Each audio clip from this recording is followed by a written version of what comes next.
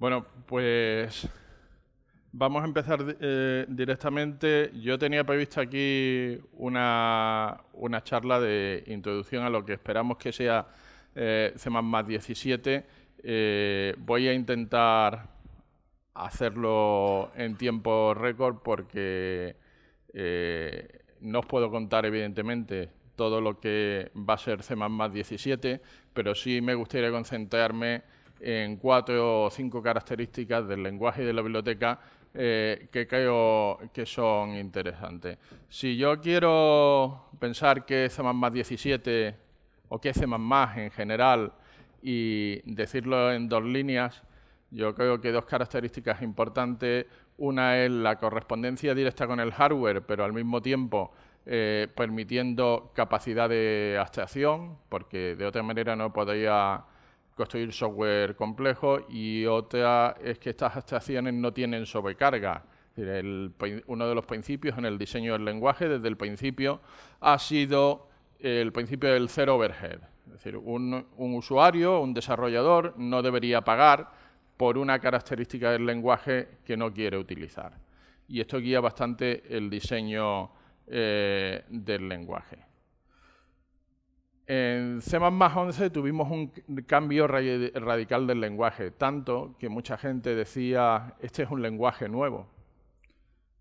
es un lenguaje nuevo que es compatible con C++ del año 98. En C++ 14 tuvimos eh, lo que uno podría considerar una eh, minor release. Realmente se completaron algunas características que habían quedado a medias eh, en C++ 11. Y en C++ 17 durante algún tiempo pensamos que podía ser una major release. Bueno, las noticias son que no va a ser una major release. Hay algunas características que sí que son eh, importantes, pero no esperéis en C++ 17 un cambio totalmente radical. Eh, muy poquito después probablemente sí, pero eh, para C++ 17 no, y aquí hay que establecer un equilibrio entre un compromiso que tenía el comité, que es entrar en un ciclo de liberar una nueva versión del lenguaje cada tres años. Durante mucho tiempo nos quejamos que C++ 11, que era C++ 0x, o 08, 09, 010, 011, pues que había tardado demasiado y que eso le había hecho perder al lenguaje cierto eh, momento. ¿no?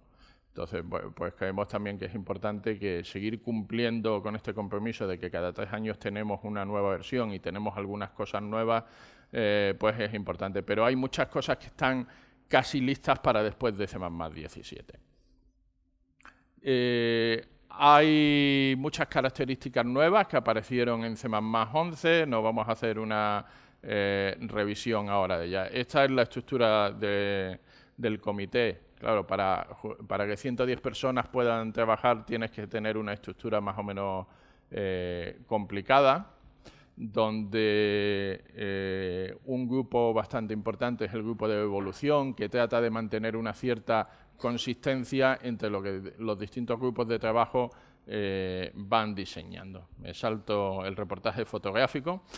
Eh, también eh, aquí tenéis un poco el roadmap del, lenguaje, las cosas que aparecieron en 14 y veis que aquí hemos tenido mucho trabajo adicional en términos de grupos de estudio que han estado diseñando un número de especificaciones técnicas. La idea de las especificaciones técnicas es que son eh, partes adicionales del lenguaje que se diseñan no en principio para estar incorporado en el estándar, sino si queréis como un plugin. Es decir, una característica opcional que un implementador es libre de suministrar o no a la hora de suministrarnos eh, una implementación que sea conforme al lenguaje. Pues entre estas especificaciones técnicas hemos tenido cosas como la de eh, API para el sistema de ficheros, o la de paralelismo, o la de conceptos, la de concurrencia. Luego lo que ocurre es que algunas de estas especificaciones técnicas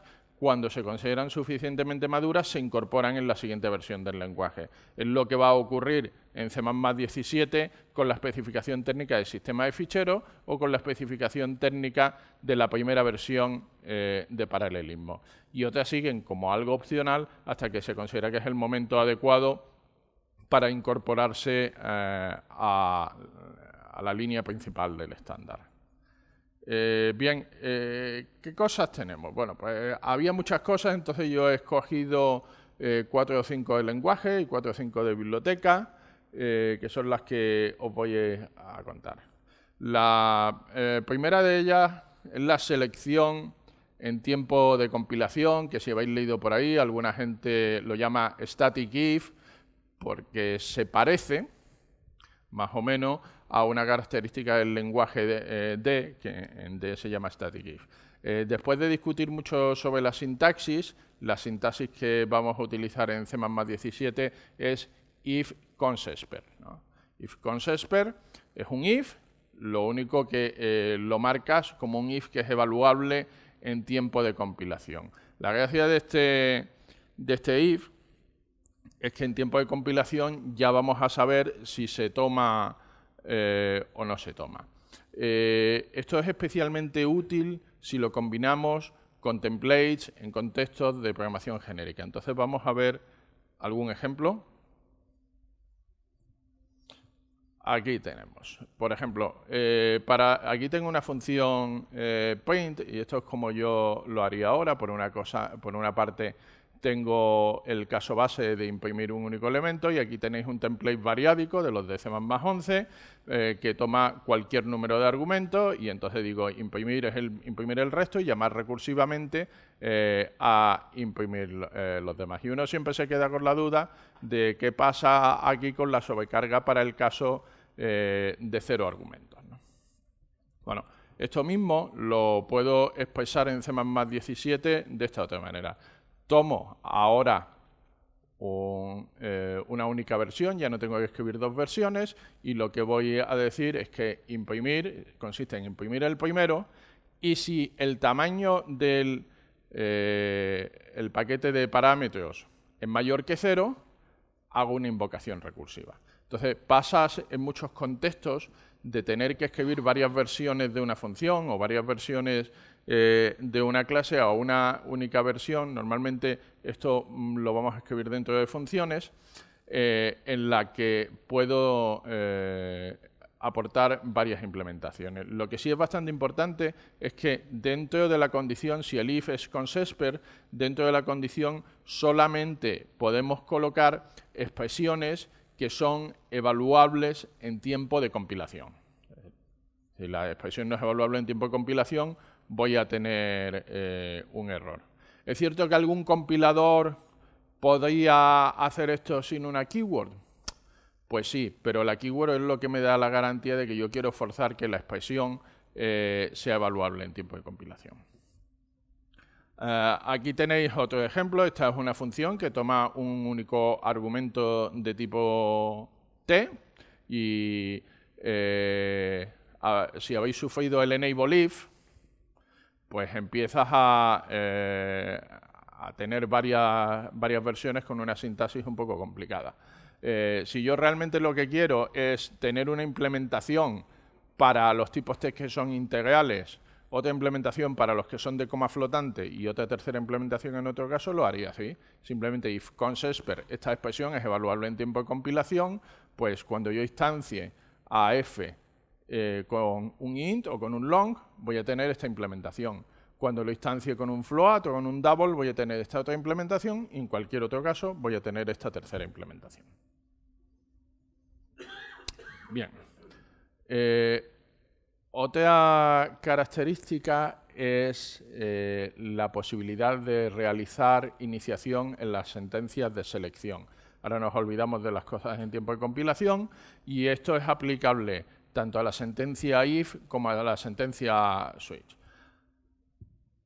El lenguaje tenía una cierta irregularidad, o algunos podrían pensar que es una irregularidad, cuando tú haces un bucle for, todos estamos acostumbrados al for int igual a cero, punto y coma, y la, y la condición. ¿no? Es decir, tengo eh, la posibilidad de definir una variable en la propia sentencia for con la ventaja de que esta variable que estoy definiendo, que puede ser de, eh, eventualmente de un tipo complejo, es una eh, variable que solo existe en el contexto de la propia sentencia for y no existe, fuera del bucle. Bueno, vamos a extender esta idea al if y luego veremos que también eh, al switch. Parece una extensión más o menos eh, natural, pero es que además esta extensión permite algunos patrones de programación interesantes.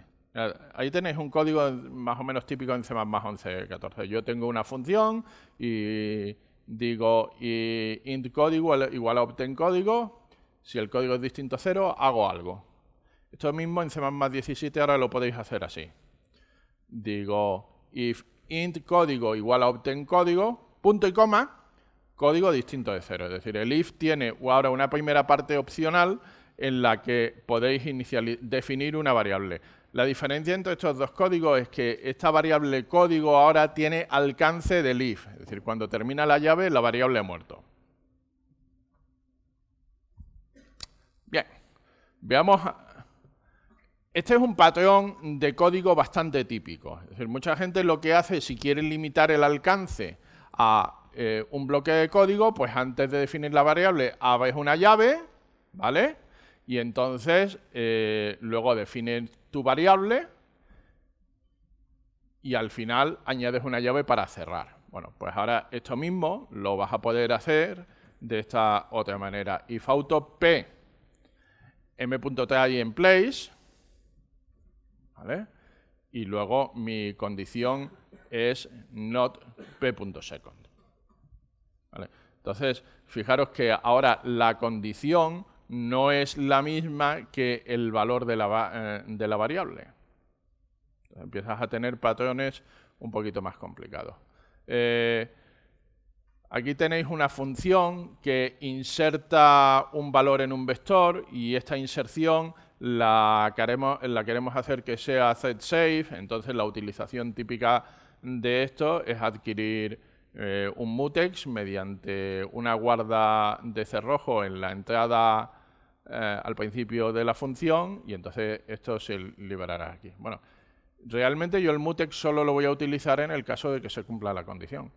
Entonces, ahora esto mismo lo puedo hacer definiendo el mutex aquí, y luego eh, tengo la validación de la condición. Y fijaros que este es un caso en que yo estoy iniciando una variable a la entrada del if que no tiene absolutamente nada que ver con la condición. Puedo tener código de entrada en el if eh, construyendo objetos que se van a destruir a la salida del cuerpo del if. Esto se puede extender a un switch.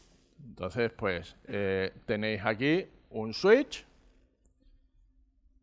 obtengo un elemento y luego, eh, dependiendo del valor de un campo del elemento, que es estado, voy a entrar por distintas eh, ramas. Bueno, pues otra vez esto lo podría hacer ahora switch elemento e, obten elemento, luego aquí ese punto estado y conseguiría hacer otra vez lo mismo.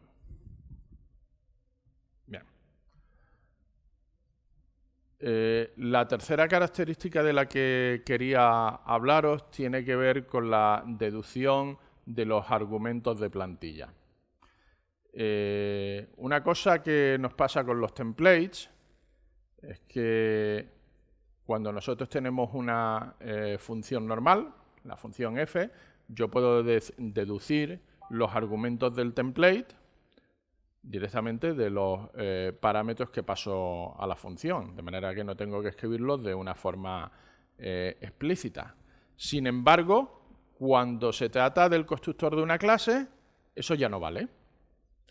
Y entonces, si tú, por ejemplo, quieres tener un par, quieres declarar una variable de tipo pair, tienes que decir, hay sitio por aquí, ¿eh?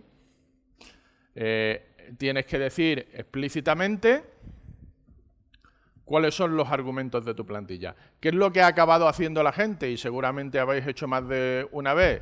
Definir una función make que devuelve un objeto de, tipo plantilla para no tener que escribir explícitamente los parámetros. Y tenemos funciones como makePair o makeTuple.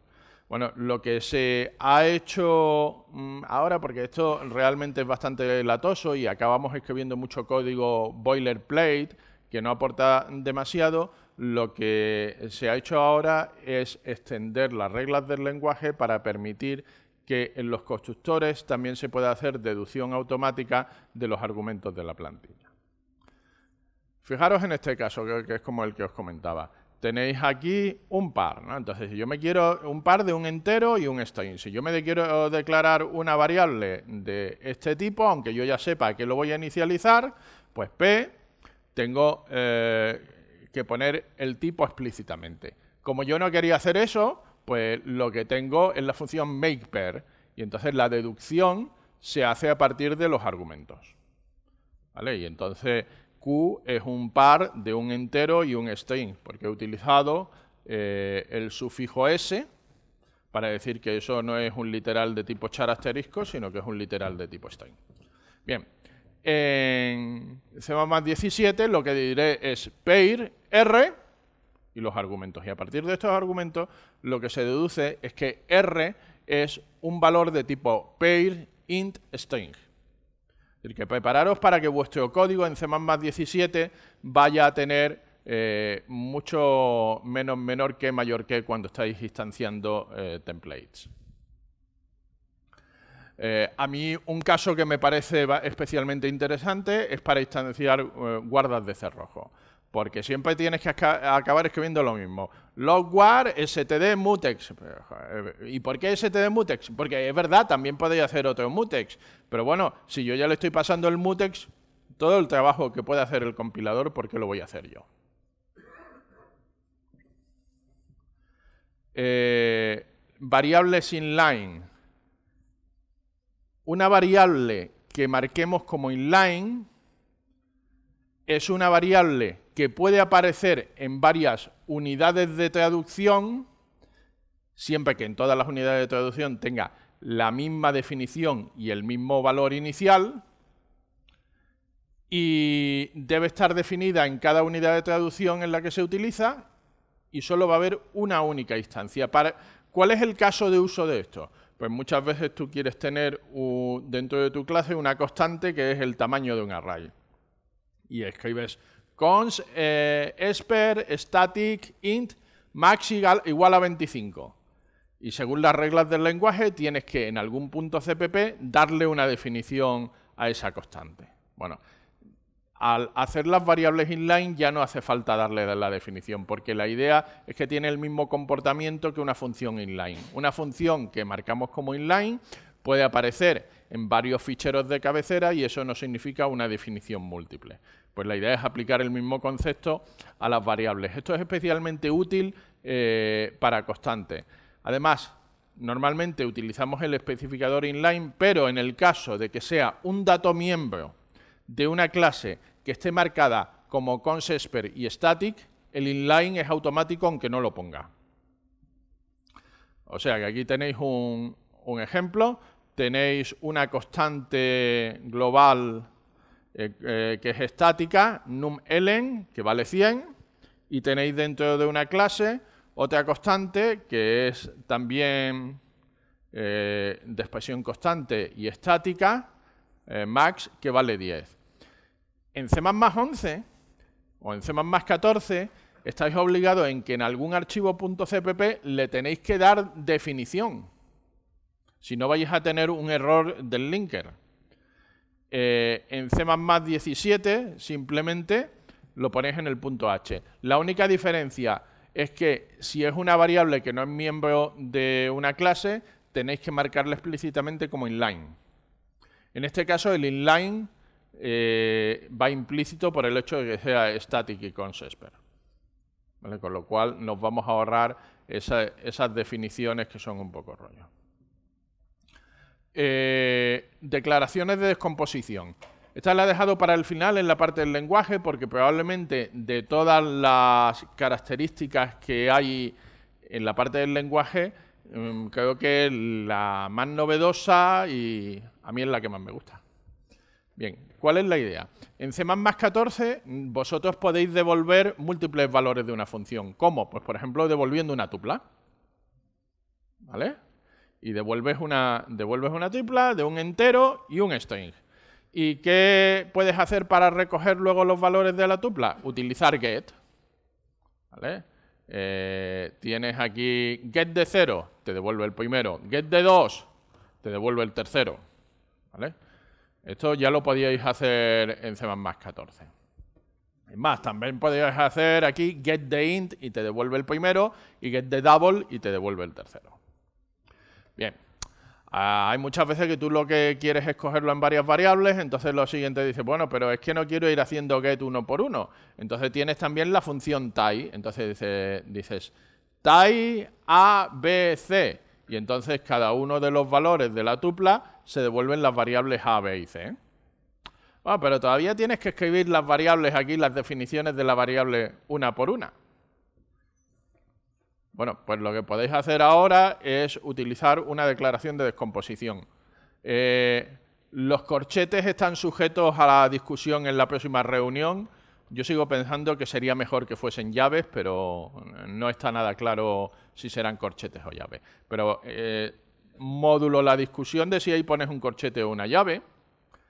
Auto y una lista de identificadores lo que va a hacer el compilador es deducir el tipo de cada uno de estos identificadores a partir del tipo de retorno de la función.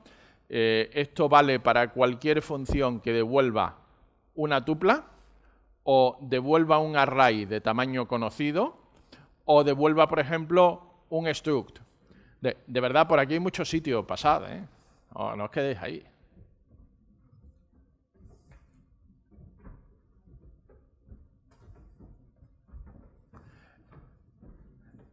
Entonces, pues esto es eh, bastante más sencillo y empieza a convertirse en un nuevo eh, patrón.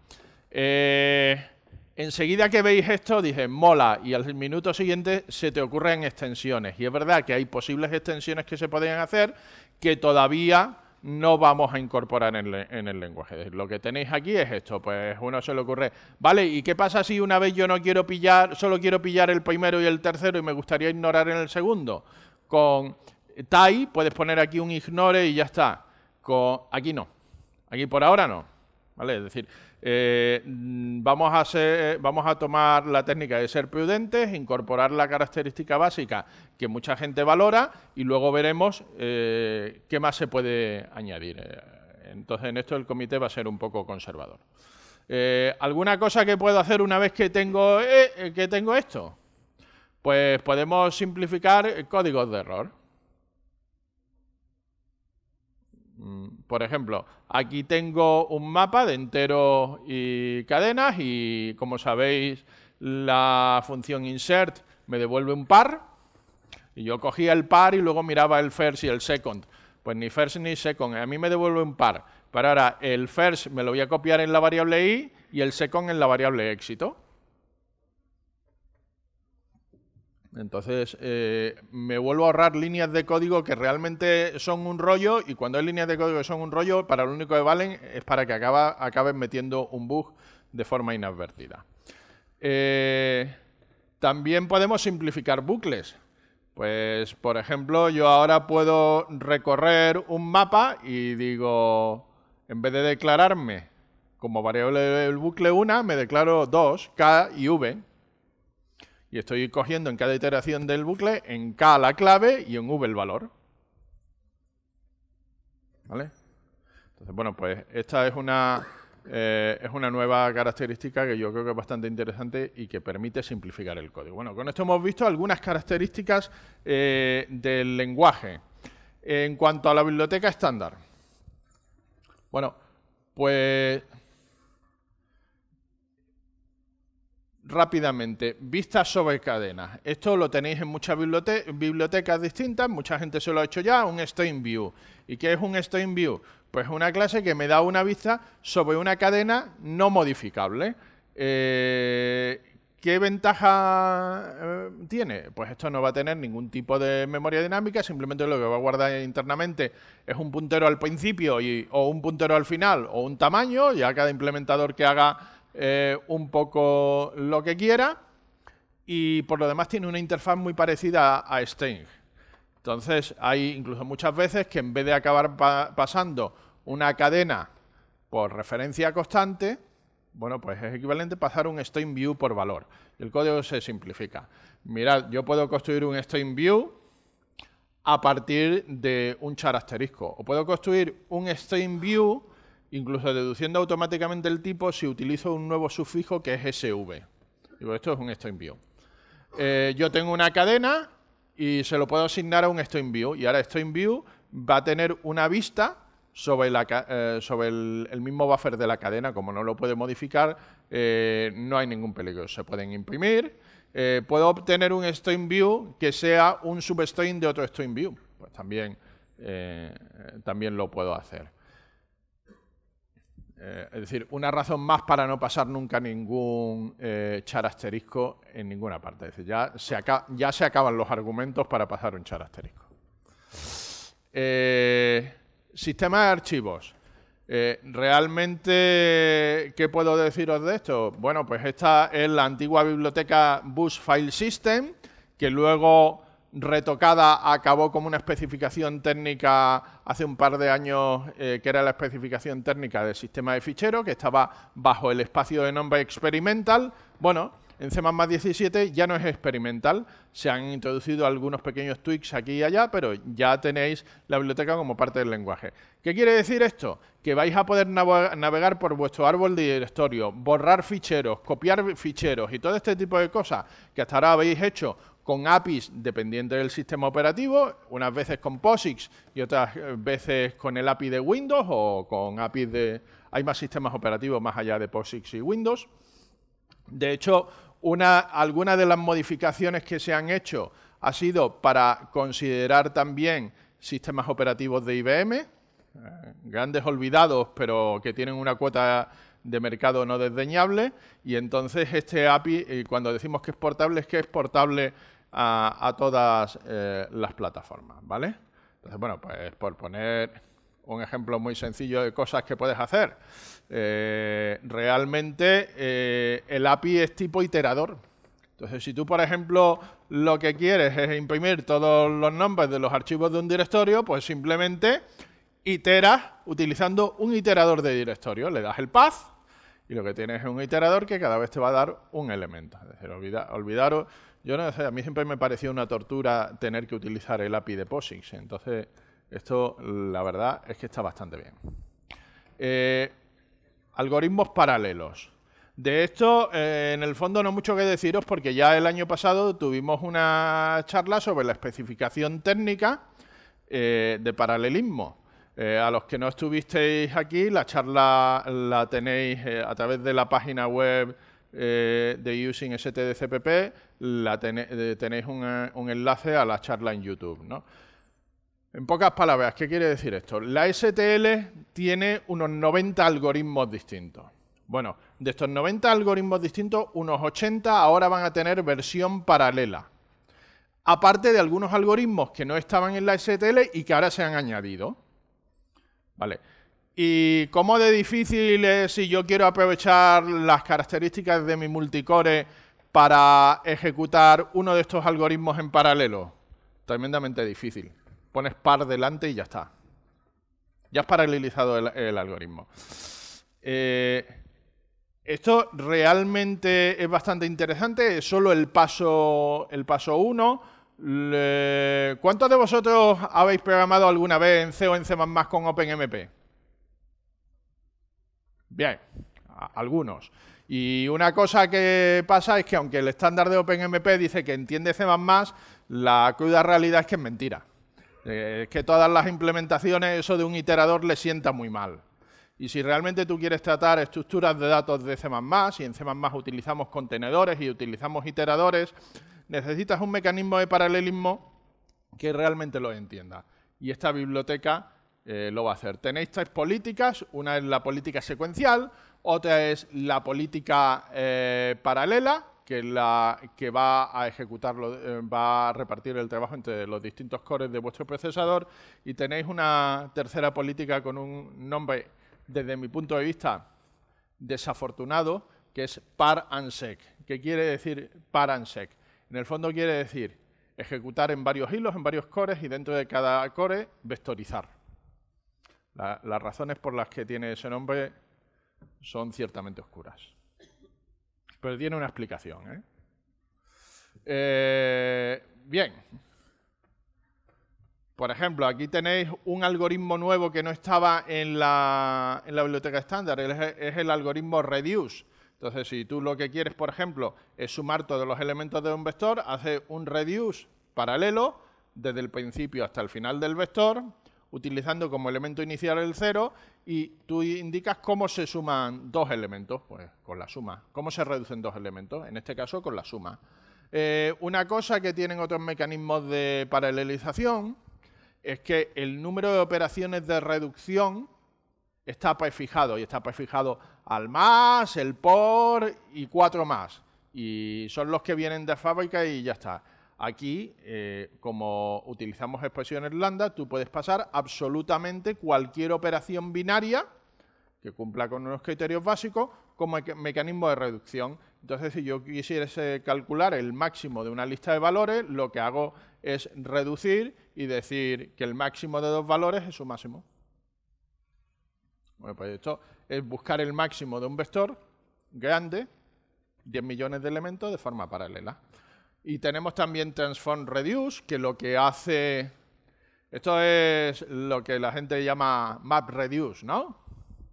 Eh, nosotros no podíamos llamarlo Map Reduce porque el identificador Map ya estaba pillado. Map eh, significa otra cosa en C++, es una estructura de datos, por eso se llama Transform Reduce. ¿Vale?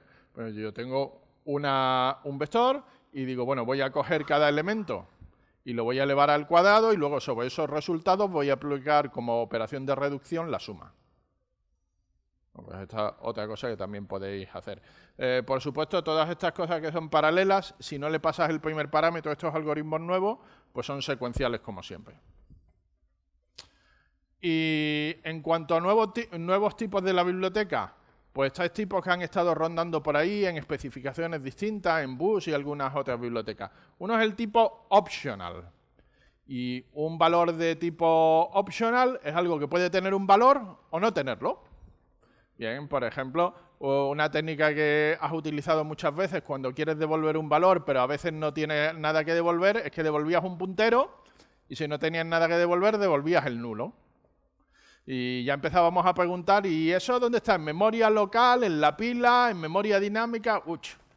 Bueno, pues lo que haces es optional, esta función obtain elemento, dice, devuelvo un elemento opcionalmente. Bien, y puedo devolver o un elemento o el opcional vacío, que ah, esta vez no tengo nada. Eh, a la hora de utilizar un opcional, la sintaxis es muy parecida a la que utilizarías con un puntero. ¿Vale?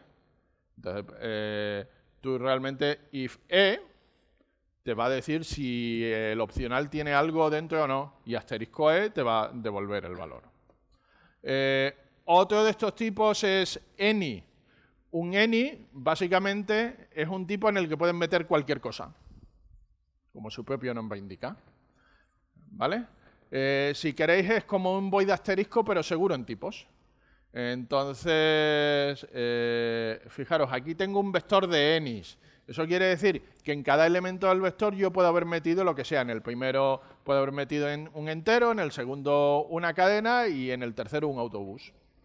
Eh, yo ahora eh, pues puedo hacer cosas como pushback de un elemento o pushback de un elemento compuesto, que es otro tipo, es decir, puedo hacer lo que quiera. Eh, ¿Cómo puedo saber luego? Claro, pero tú has perdido la información. ¿Y qué había metido yo? ¿Un entero o una patata? Bueno, tú eh, tienes sobre any una función type que lo que te devuelve es el type ID de lo que metiste. Y de esa manera puedes saber cuando lo saques, pues para hacer el cache correspondiente. Bien.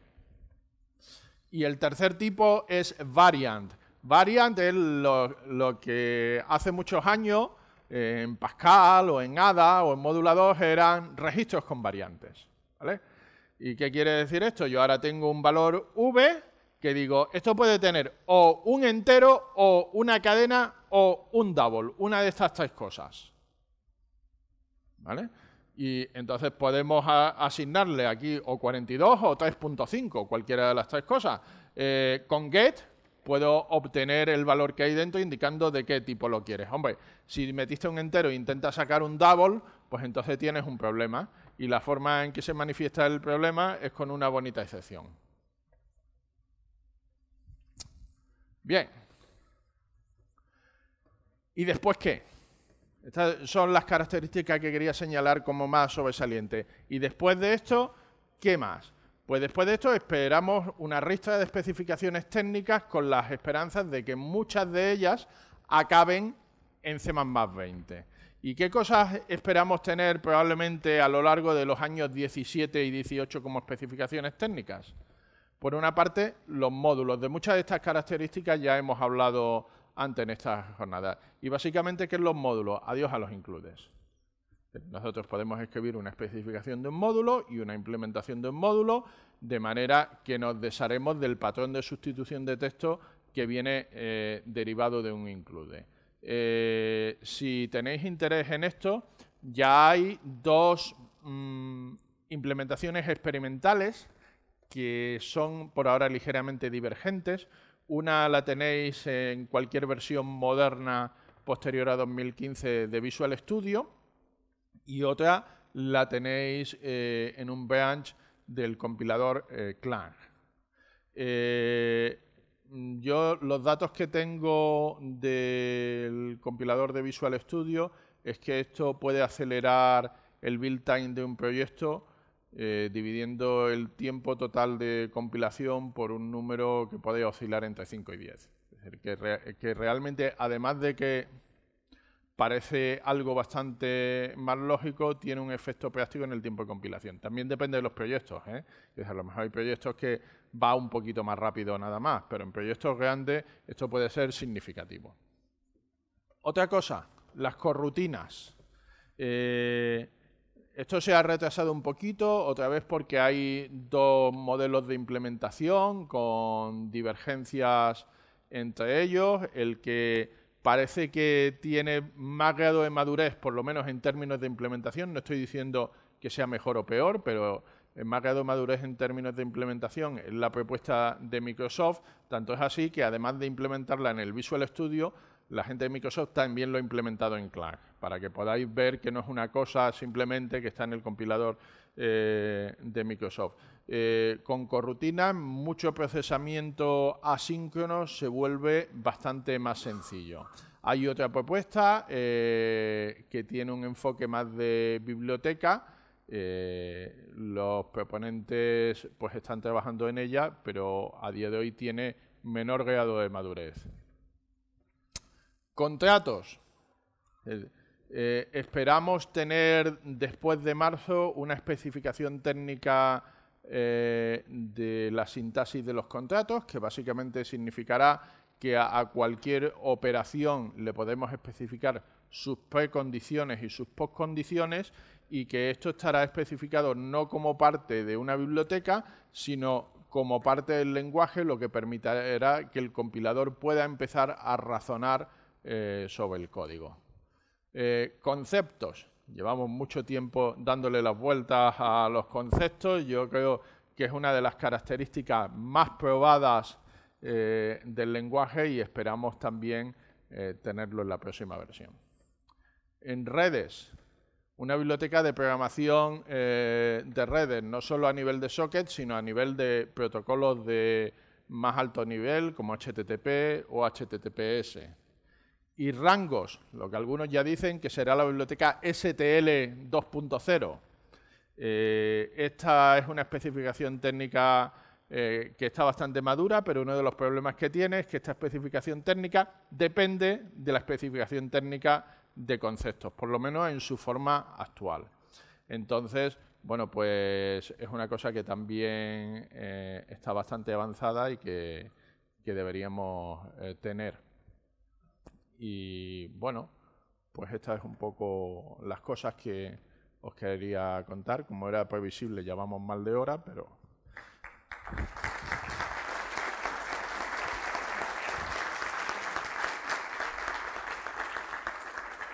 Eh, ¿Alguna pregunta?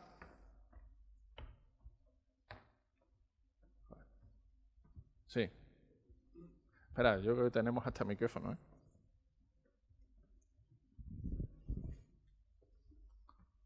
No, has comentado el nivel de, adopción de las fichas de C++ 17 en los compiladores, o por lo menos en la tríada, digamos, famosa de Visual Studio, GCC y Clang. ¿Cuánto vamos a tener que esperar para tener esto? Pues Porque creo que va bastante bien. Hay, varias cosas que están ya implementadas. La verdad es que no he repasado últimamente la tabla, pero mi previsión es que ocurrirá lo mismo que en C++ 14 y que el día que aprobemos el estándar habrá algún desarrollador de al menos un compilador open source que vuelva a decir un minuto antes de la votación, nosotros ya tenemos, somos 100% compliant. Yo, creo que hay una, otra vez una guerra muy dura, especialmente entre GCC y Clang, por ver quiénes son los primeros que tienen una implementación completa. De todas las características que hemos visto, probablemente la que todavía no está integrada en ninguna distribución en absoluto que yo haya visto es la de la biblioteca eh, paralela de la STL, la versión paralela de la STL. Eh, sin embargo, si os interesa probar, hay una biblioteca de la, creo la Universidad de Luisiana que se llama HPX y HPX tiene implementada eh, toda la STL paralela y es una cosa que, que funciona con todos los compiladores actuales. Y por lo demás, las características del lenguaje de todas hay eh, prototipos utilizables ya.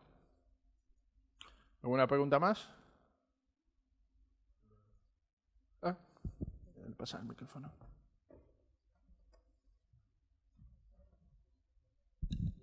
Es que no me quedó claro lo de la paralización. Llegué justo cuando estaba poniendo la transparencia. Entonces, el map puedo ver cómo se paraleliza fácilmente, pero el reduce, que tiene dependencias entre los datos, o sea, cuando dice paralización, ¿a qué se refiere? A, ver, eh, por, supuesto, si tienes, si tienes dependencias de datos, tendrás que resolver las dependencias de datos y o bien eh, en la expresión de lambda eh, tendrás que introducir un cerrojo o bien utilizar atómicos para hacer operaciones atómicas. pero por dependencia me refiero de que el reduce lo que suele hacer es que depende del recorrido. Porque si se hace, o sea, si el reduce es lo que es, es a derechas, Vale, eh, eh, Entonces, eso realmente de lo que, de, eh, lo que depende es de, si tu operación de reducción es asociativa o no.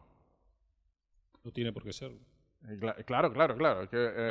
quiero decir, tú en principio el reduce espera que la operación, para garantizar simplemente siempre el mismo resultado, tiene que ser asociativa.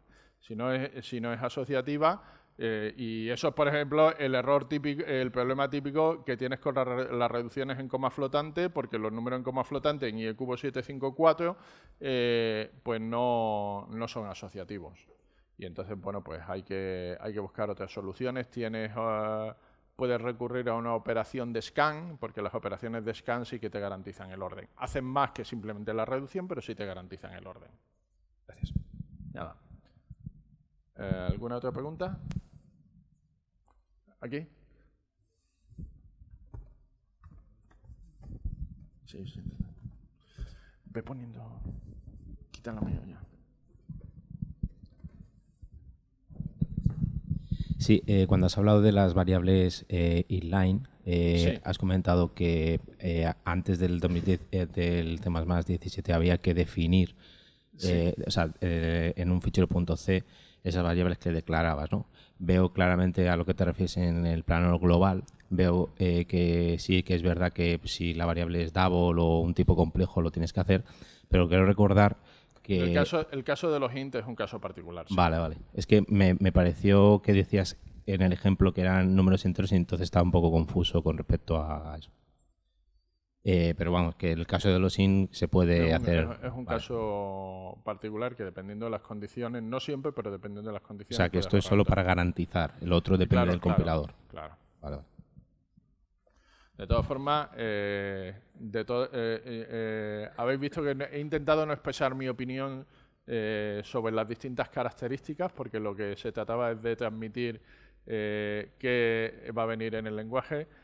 Yo particularmente creo que esa característica es un error. desde mi punto de vista eh, personal, lo único que hace es promocionar que la gente utilice más variables globales a mansalva y tampoco hay que darle a la gente el, botón nuclear. Ah, yo, creo que es y creo que el problema de las constantes en particular, que es el que quiere resolver, se puede resolver eh, mejor de otra manera. Pero bueno, a día de hoy esto es lo que está en el borrador y es lo que yo tengo que contar. Eh, ¿Más preguntas? Muy bien, bueno, pues entonces vamos a comenzar con la siguiente charla.